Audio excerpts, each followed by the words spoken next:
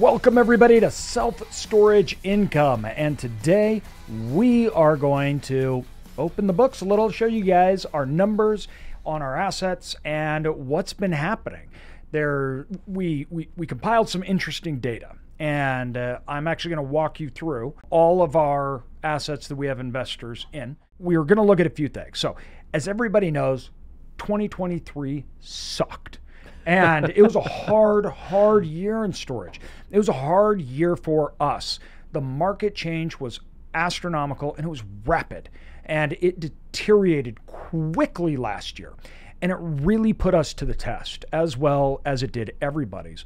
And when we look at our deals, how we buy and what we're doing, a lot of times you guys have heard me talk about my margin of stupidity.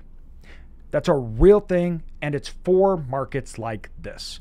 I need to be able to make mistakes. The margin of stupidity is placed on a structural basis that allows us to do stupid things without getting caught by value traps.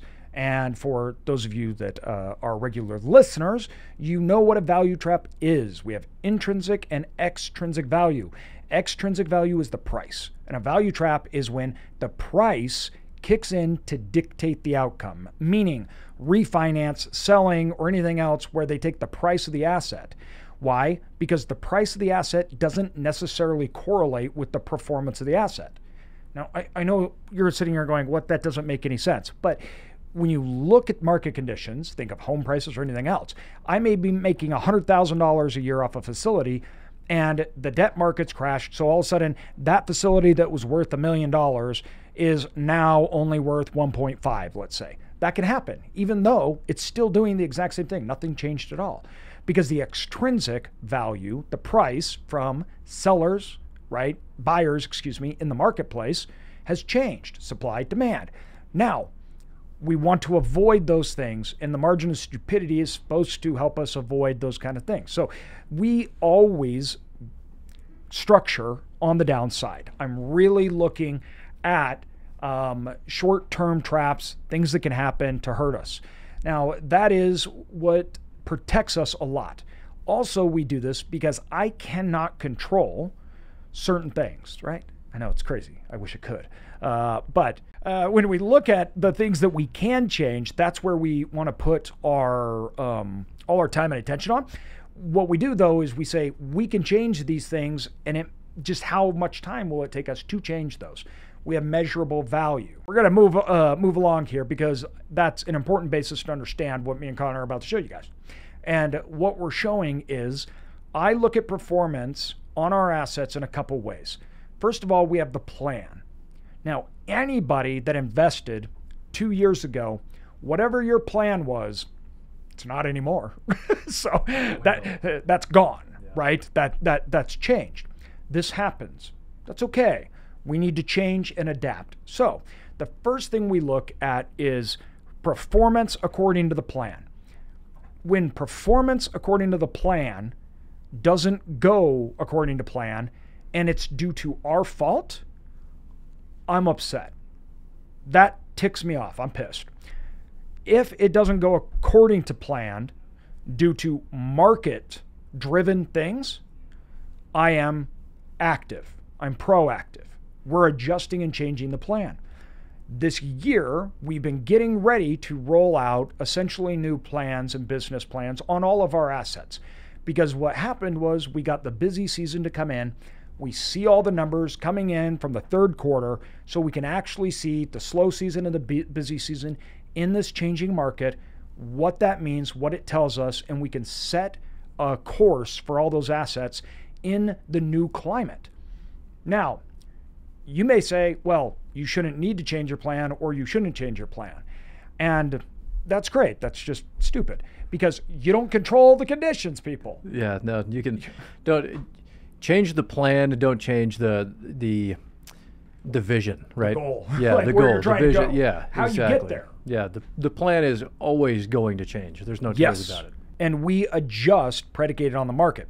People that adjust are people that not only survive, they thrive. Because also in times like this, you're not just changing your plan because of downsides, but you're also changing your plan because of upsides. And that's why we change. We want to protect against downsides that didn't exist and upsides that didn't exist either, right? So we try to maximize those times, and then as times change, we can leverage them and build upon them. Once again, we're just not in control of the time frame in which those happen. All right, everybody, the numbers that we're showing, the next thing, and this is where the numbers come in, that I look at and try to understand performance. The market compared to us. So, in self storage, as well as a lot of commercial assets, it is hyper local. So, what I did on our assets, I said we take a two year basis and we say, what was the change in market rates? So, what did the market do? So, what happened in the marketplace versus what happened with us? Now, it's not as easy as comparing rates. The reason being is there is a difference between how we manage revenue and rates. So just because a rate is one thing doesn't mean it'll end up being that thing when we do. So we compare that by revenue. That's the ultimate goal and achievement of success for us. So if the markets are tumbling, but we are improving and making more money, that's a good spread. If the markets are tumbling and we are as well, and our revenue's dropping, that's bad because we're correlated to the market. What that tells me is that we're not doing good, right? We are only subject to the market, meaning that are we being successful or is the market making us successful? This is something that I've looked at so much. And it's one of the reasons why I, I tell people we are not storage investors. We own a storage business. We're in the business of storage. They're not the same, right? So when we look at this, let's break down the numbers now. Okay. We got all our facilities here, and uh, the first thing we look at is it's the changes are taken off the exact same time frame, and what we look at is the market change in rents versus our revenue change. And then I'm keying in to the spread. Now, the other thing that we look at as well is diff- interest rates. Now, the one thing that needs to be taken out of this would be fill up, okay? Meaning that if your revenue rises, but that's just because you had empty spaces and you got more into it, that's not showing a performance necessarily in comparison of the market rates and performance. That's just, you just got more people, so you just got more revenue, even though it could have been performing worse, right? Mm-hmm. And we have a couple of those, which we will actually show. This uh, first facility we're looking at, everybody. This is a facility that we bought year and a half ago, basically, right? Uh, the summer, right when before everything went down. Rates had already started to go down. But in that time, the market had dipped down by 25%. And as of right now, we are up 28%. And um, we're just going through our first revisions of um, our revenue and our revenue maximization. So this, we're this guys is taken from today, meaning that we are in the slow season. So vacancies are high and we're discounting rates right now. This number will be wildly different come spring during the busy season, right? And I'm excited to follow up and show how much more we were able to do and what the outcome was of that. But the spread here is a positive good spread of 53%. The next thing that um, we are looking at is another facility that's actually in close proximity to this one, but we did not get the uplift in revenue, and that's largely due to the fact that we actually dropped majorly in occupancy. The reason being is we dropped almost 20% in occupancy because we had to kick out a lot of our tenants because we had to redo ceiling and pavement and all sorts of stuff. So even by losing probably 15% of uh, net occupancy going down, we were still up in revenue by 13%. Um, the market change there was 23%. So that's a 36% spread, even with dropping occupancy. What that tells me is once again, when I'm looking at performance, what's working and what's not. First of all, we already look at this and say, okay, we know where we need to improve and what we need to do better on. Obviously, the occupancy kicking out, that was good because now we can actually charge higher prices for the people that come in. Um, but that is bringing down largely that revenue uplift that um, we're looking for. Uh, so just so people know, we are targeting almost always a 30 plus percent increase in revenue. Now, let's go to this one. This is a small facility. And um, to be honest, you guys, this is a rough one. Uh, our, our spread is a 40% spread. The market went down 22%, and we're up in that two year period 17%. And that's not something we're happy with at all. Um, this one's one that shouldn't have been up 17%. Uh, frankly, it should have been doubled. Now, the reason being is the occupancy is low. We had huge capex that we had to do on this one. Now, this is one by next summer. Um, it is 100% expected that that revenue increase is over 50% by next summer.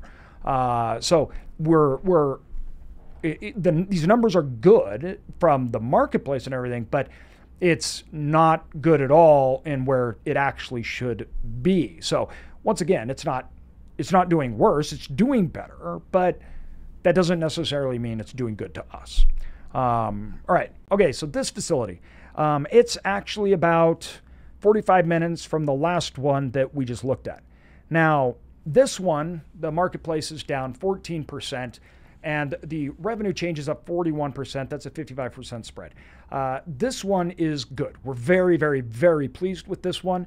The execution of it, we had to first fill up a little, but then we vastly changed rates and we lost occupancy.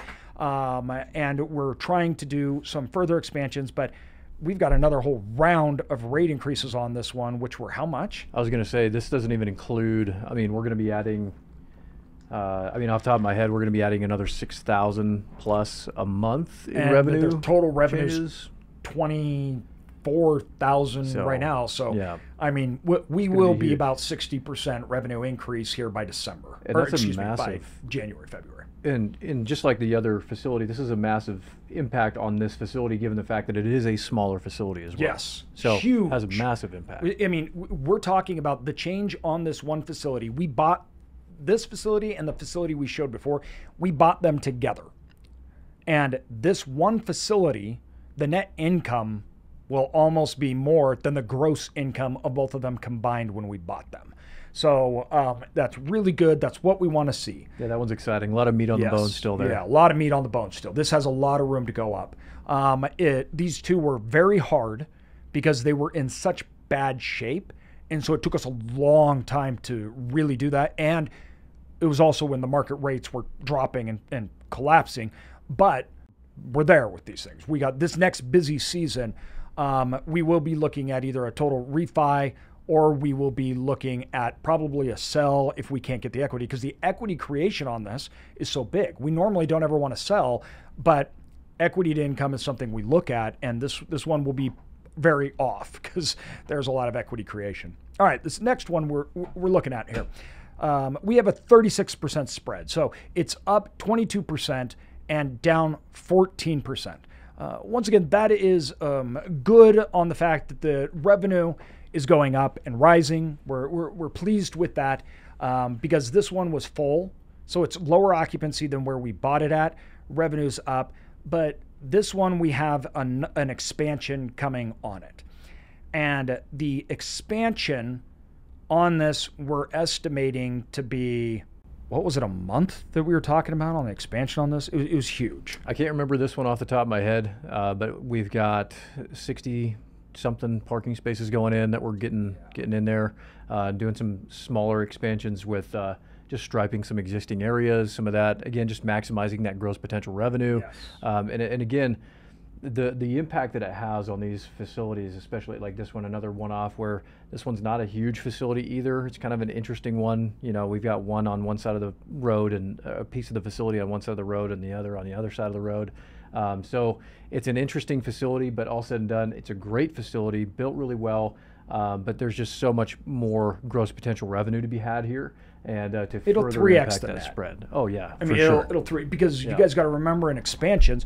So Connor's d- going through, they're building out the expansion, then they're going to fill it up, but when they fill that up, our, our expenses are, are fixed already because we bought it off that expense load. So everything we yield from this expansion, which is low capex expansion, so you're, I mean, we're talking over well over $100,000, probably over $150,000 to the net.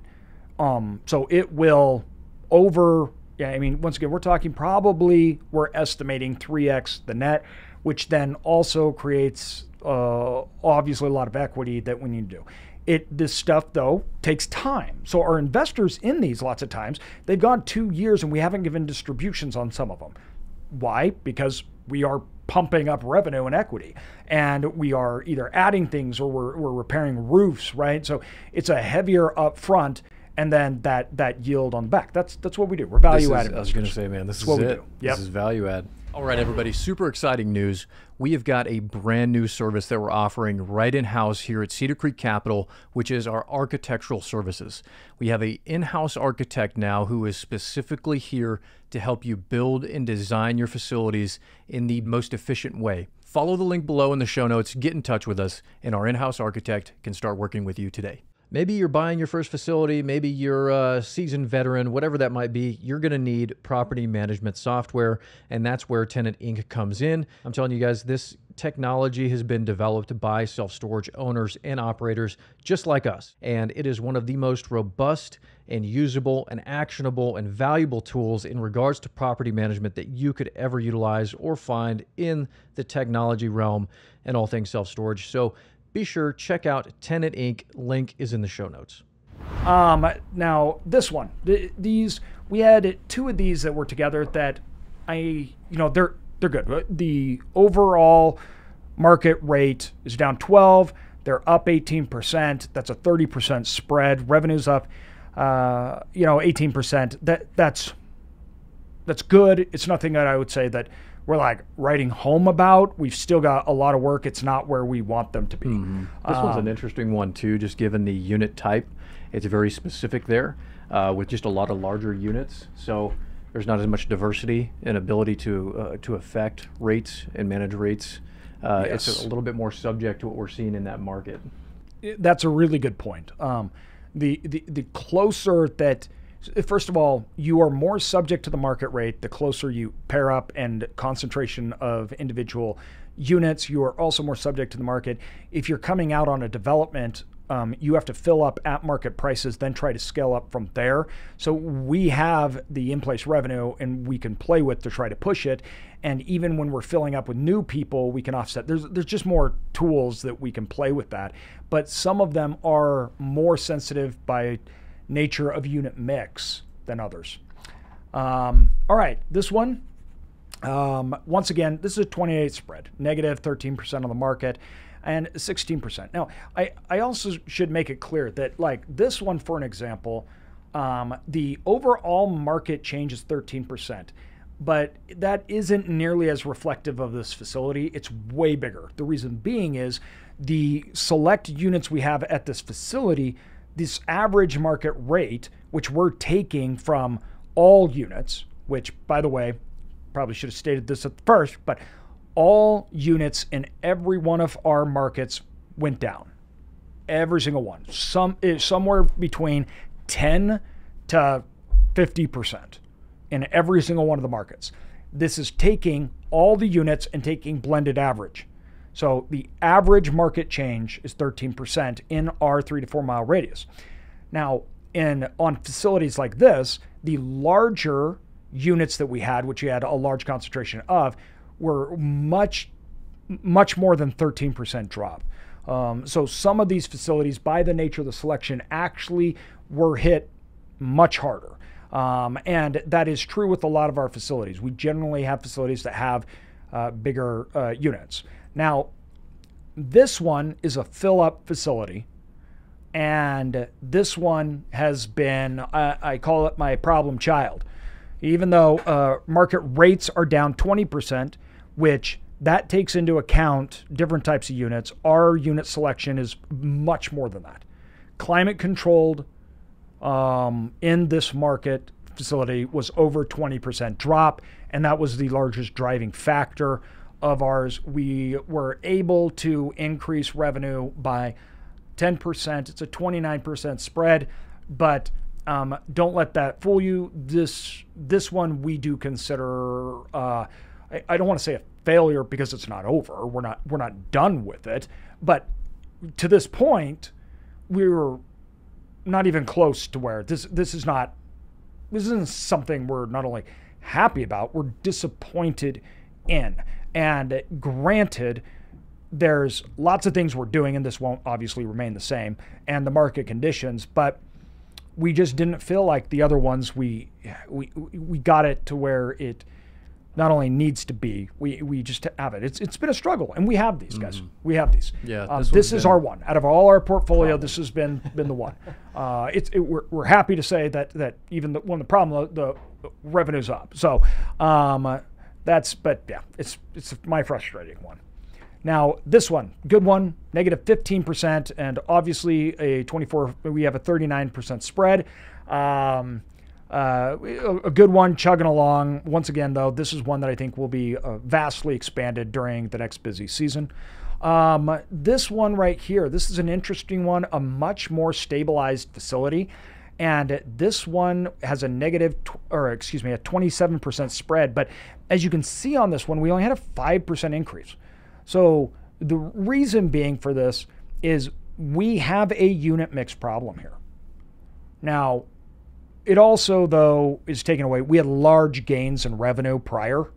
So um, this is an older stabilized facility, but still we have a occupancy problem at this facility because of a concentration of units.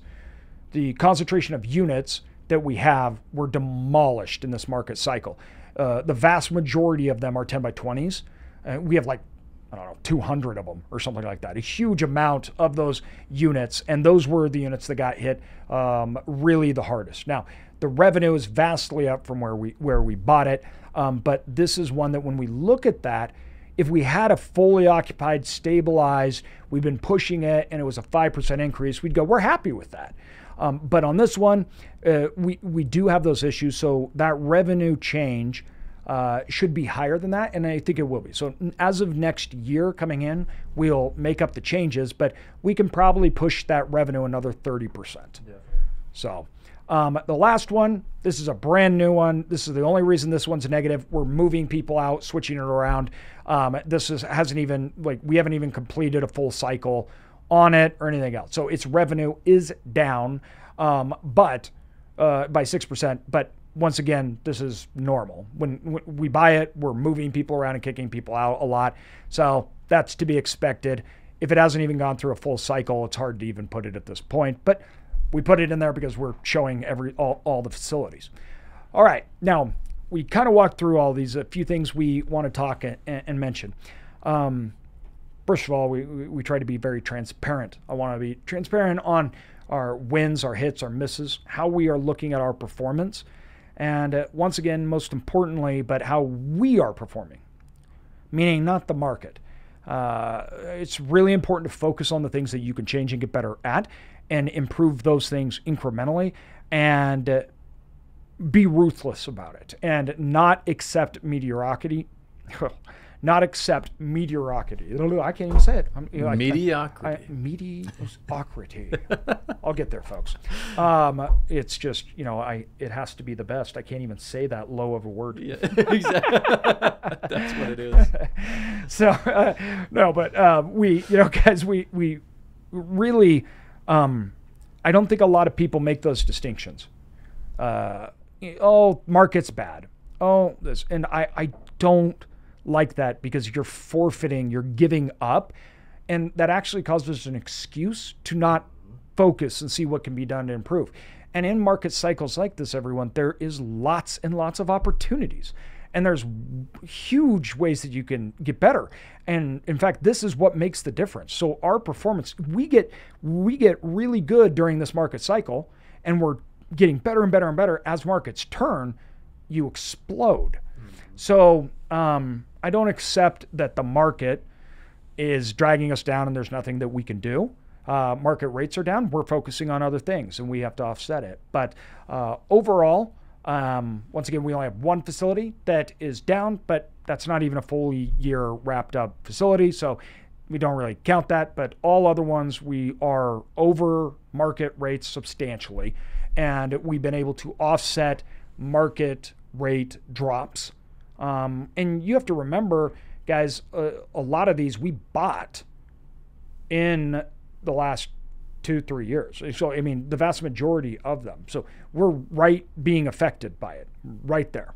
Um, and we, I like to see these things because it shows, all right, great, we're, we're, we're improving things, getting better because we're increasing our gross revenue potential through our square foot, um, pushing that square foot revenue. So, as things come back, it's like wind in the sails.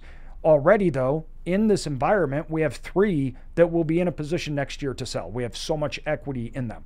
And we're doing that through down downward market, markets. That's what we look at to identify what we're doing right to accomplish that, to place on others. So that's kind of a look at our shared investor assets um, that we uh, have right now. Of course, we have our other side of the portfolio, which we don't have investors um, in. Those are just our private ones, which, by the way, we don't do anymore. Any ones that are private, we don't cherry pick. Everything we do is with investors today. So we are we call them legacy assets that we bought and owned prior to taking on investors. Um, we have all of those assets too. But it's uh, interesting to see not legacy and assets that, first of all, weren't these weren't assets that were perfect. These were turnaround facilities. They had issues, they had problems, and we are in the middle of a market contraction. And that's how that's how we've turned out.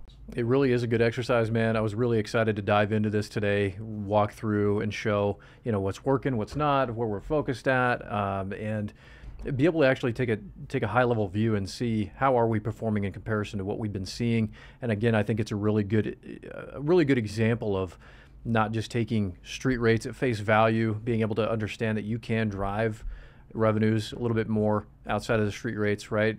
Um, which I know a lot of people and uh, even us, we base you know a lot of our underwriting on the street rates and how far we can push those and what that looks like. And so hopefully this gives people a really good amount of tools, you know, additional additional tools in their toolbox, talking to partners and lenders and, and analyzing facilities. And um, I also love that you talked about not utilizing the markets as an excuse.